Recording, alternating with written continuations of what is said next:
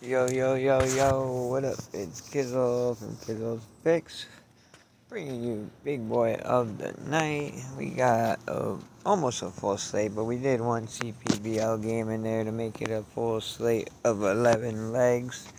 Uh, not a bad payout, 10 catches you 2,800.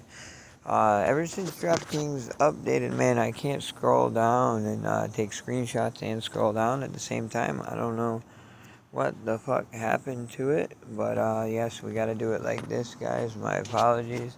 I don't know. I'm looking into it to see if it's like a permission or something. I don't know what the fuck's going on here. But uh, yeah, it lets me do it for anything else, but it doesn't let me do it on DraftKings. But anyways, hit me up in the comments. Hit that like button if you're new. Subscribe. Don't forget to hit that bell so you get notified when the videos drop.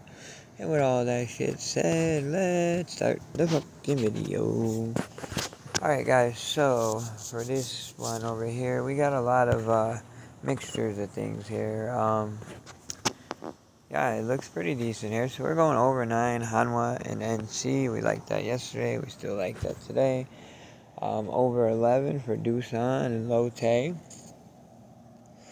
Uh, Samsung plus 1 I like a minus one, but I just gave him one just to be safe. Over five in the first half for SSG and LG. Hopefully that works out with Enns and Kim Kwang-hyun going. Under 10 for KT and Kiwoom. I think Cuevas is actually going to pitch pretty good today. He's due for a good game, and Kiwoom's kind of been struggling scoring runs, so think we should be alright there. Yoko Moneyline didn't have no alternates or anything there. I wanted to go minus one. They got uh, Zuma pitching, so hopefully we straight there. Uh, Hanshin plus half a run first half. Their pitcher's uh, pretty good. Um, I forget who it is at this moment in time, but he when he faced uh, most of these guys, he only gives up like a run or so, and uh, yeah, I don't think he's giving up too many to Yamari. So I think we'll be alright.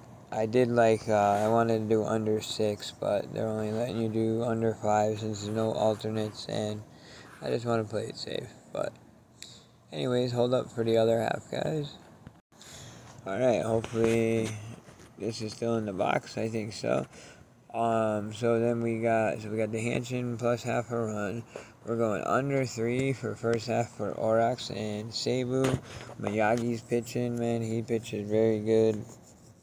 Uh, Seibu's pitcher isn't too bad either. Orix hasn't been uh, been Orix has been struggling to score runs over the last couple of games, so I think we'll be all right there.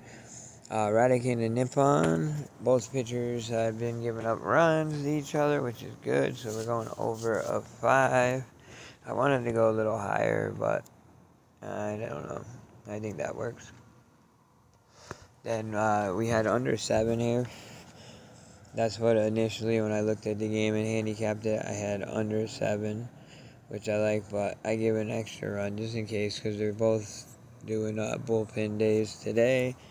So I just wanted to play that safe.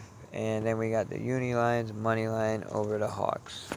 Uni's won four out of five. Uh, they got a good pitcher going. The Hawks pitcher isn't too bad, but they just have not been scoring runs, and Uni's been scoring crazy runs, and they've given up seven runs over the last five games. So I think we should be all right here. I hope so. That was my favorite one out of the three games tonight, so that's what we're doing. Alright guys, good luck to everybody, and let's get that fucking money, money. Kizzle is out for the night. Peace, peace.